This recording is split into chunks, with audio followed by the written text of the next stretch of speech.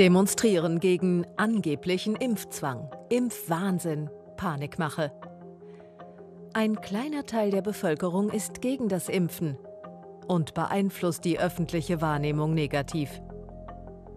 Obwohl das Impfen von der Wissenschaft fast ausschließlich positiv beurteilt wird. Mindestens 80 Prozent derjenigen, die geimpft werden können, müssen geimpft werden, damit der Albtraum Corona vorbeigeht und vor allem damit auch die, die sich nicht schützen können, wieder sicher sind. Also Menschen mit schwachem Immunsystem, Kinder. Es gibt ganz viele, die auf Herdenimmunität angewiesen sind. Herzlich willkommen bei Nano.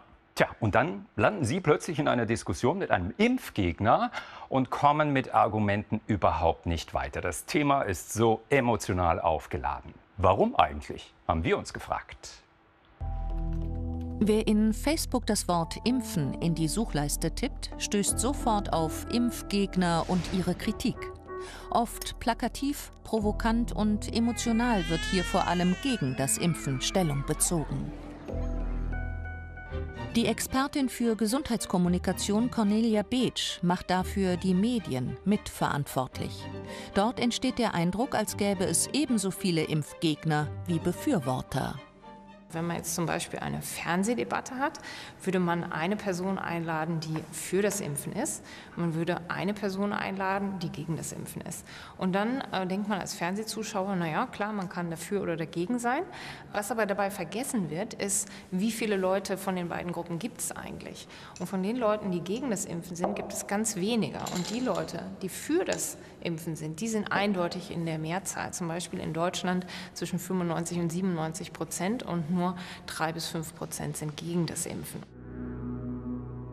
So wird etwa Autismus als angeblich gravierende Nebenwirkung des Impfens genannt. Die Polemik einer Minderheit. Der angebliche Zusammenhang beruht auf einer Studie von Andrew Wakefield. In der Studie von 1998 präsentierte der britische Mediziner zwölf Kinder, die durch eine Impfung Autismus bekommen hätten, wie es heißt. Zwölf Fälle von Millionen Impflingen. Anrüchig dabei, Andrew Wakefield hatte einen eigenen, angeblich sicheren Impfstoff entwickelt. Damit hätte er ordentlich Kasse machen können. Außerdem gab es Anwälte, die Entschädigungen für Autisten erstreiten wollten. Von ihnen bekam Wakefield 55.000 Pfund. Forscher auf der ganzen Welt versuchten die Ergebnisse der Studie nachzuvollziehen. Ohne Erfolg. Die Studie wurde zurückgezogen, ihr Autor offiziell gerügt. Im Internet wird gerne Impfangst geschürt. Das funktioniert. Negative Nachrichten ziehen unsere Aufmerksamkeit an.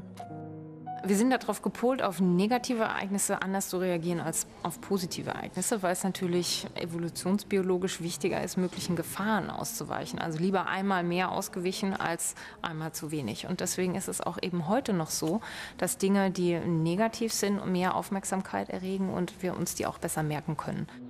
Schlechte Nachrichten verkaufen sich besonders gut.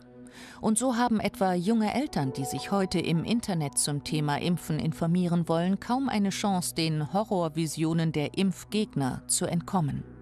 Cornelia Beetsch hat in einer Studie untersucht, was dann passiert. Eine Gruppe von jungen Eltern wurde zunächst in einem wissenschaftlich fundierten Vortrag über Risiken durch die Krankheit und durch die Impfung informiert. Die Eltern waren der Impfung gegenüber danach positiv gestimmt. Dann durften dieselben Eltern dazu im Internet recherchieren. Durch die negativen, mitunter falschen Darstellungen, die sie dort fanden, änderten sie ihre Einstellung und wurden überwiegend zu Impfskeptikern. Eine fatale Wirkung. Es gibt gewisse Risiken des Impfens, die muss man aber im Verhältnis sehen zu dem Nutzen der Impfung. Und da wird auch sehr, sehr gut drauf geguckt. Es gibt das Paul-Ehrlich-Institut, die schauen sich an, was an möglichen Verdachtsfällen reinkommt. Und da wird sehr genau geschaut, was kann möglicherweise mit der Impfung zusammenhängen. Das, das wird sehr eng gemonitort. Also das Sicherheitsnetz ist hier sehr, sehr dicht. Trotzdem ist es natürlich so, dass es Fälle gibt, wo nach dem Impfen äh, Dinge passiert sind. Die werden nachverfolgt, die werden auch entschädigt. Also da kümmert sich auch der Staat drum. Die Haltung zum Impfen entwickelt sich in Deutschland positiv. 2014 waren fast 70 Prozent dafür, 25 Prozent positiv mit Vorbehalt und 6 Prozent dagegen. 2016 waren schon 77 Prozent für das Impfen, nur noch 18 Prozent mit Vorbehalt und 5 Prozent Impfgegner. Weltweit allerdings hat sich die Stimmung eher negativ entwickelt. Die Weltgesundheitsorganisation zählt Impfmüdigkeit unter die größten Gesundheitsrisiken, so wie die gefährliche Seuche Ebola, hoch ansteckend und tödlich. Oder die Belastung durch Luftverschmutzung und Klimawandel. In diese Liga ordnet die WHO auch die Impfmüdigkeit ein. Deshalb ist die Gefahr durch aufmerksamkeitsheischende Darstellungen tragischer Einzelfälle erheblich. Natürlich muss man sagen, solche Geschichten gibt es, aber im Internet erscheinen sie uns eben besonders häufig ähm, und manchmal ist auch gar nicht geklärt, ob es tatsächlich einen kausalen Zusammenhang mit dem Impfen gibt. Ähm, aber diese Einzelfälle führen dazu, dass unsere Risikowahrnehmung beeinflusst wird und unsere Bereitschaft zu impfen. Denn die Risikowahrnehmung nimmt zu und die Bereitschaft nimmt ab. Die Aktionen von Impfgegnern beeinflussen die öffentliche Wahrnehmung zum Impfen negativ obwohl das Impfen von Experten fast ausschließlich positiv beurteilt wird. Ganz aktuell, so zeigt die sogenannte Cosmo-Studie von Cornelia Beetsch, sinkt die Impfbereitschaft etwas. Gut die Hälfte der Deutschen hat ja schon mindestens eine Dosis erhalten. Aber unter den ungeimpften wollen sich nur noch knapp die Hälfte impfen lassen. Das würde für eine Herdenimmunität nicht ganz ausreichen. Es bleibt also wichtig, mit denen zu diskutieren, die einfach unsicher sind.